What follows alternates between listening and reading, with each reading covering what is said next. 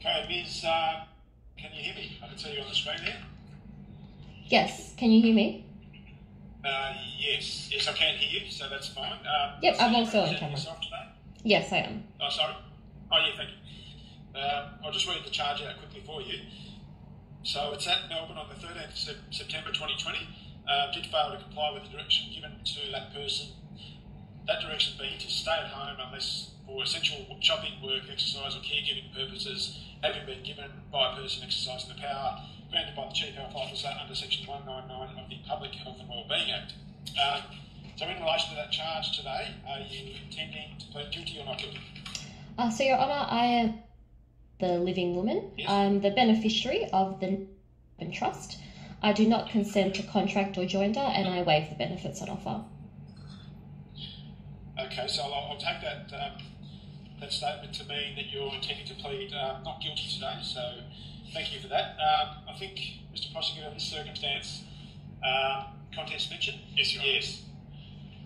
Uh, Your Honour, I've been given a copy of uh, the uh, letter provided by Ms.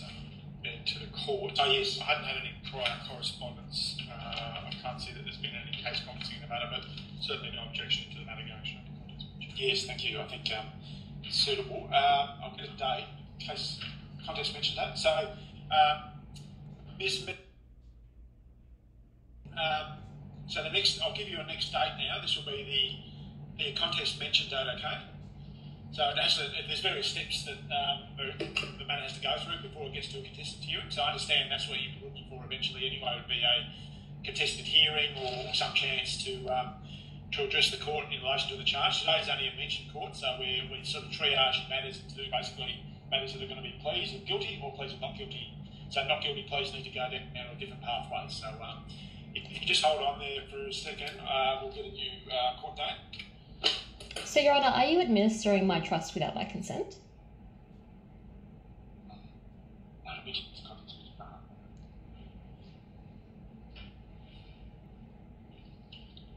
No, there's no administration of any trust at the moment, so um, we're just dealing with the matter under the Criminal Procedure Act. Okay, so that's uh, 2009, um, an act in force in Victoria, and the next step will be a mention date um, under the um, under the Criminal Procedure Act uh, under Section 55 of that act. So if you take it over Section 55 of the Criminal Procedure Act, that'll be the next court date uh, in relation to that, and that'll that'll set out the process of what's occurring. I do not consent to contract or joinder, and I waive the benefits on offer.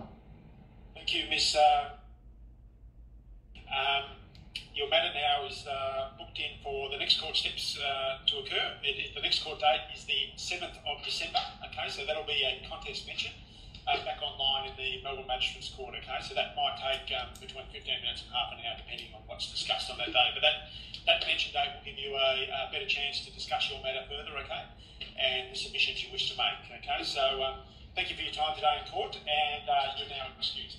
Thank you for your time, Your Honour. 7th of September. Thank you. Uh, we'll just confirm, uh, Miss, you're on the line there. You can see and hear us. Yes, can you hear me? Yes, I can. Thank you. Your Honour, is an application to withdraw this matter. All right. Thank you. Upon the prosecution application to have the charge withdrawn, charge is now struck out. Thank you. The charge has now been uh, struck out. You may be excused. Thank you. Thank you.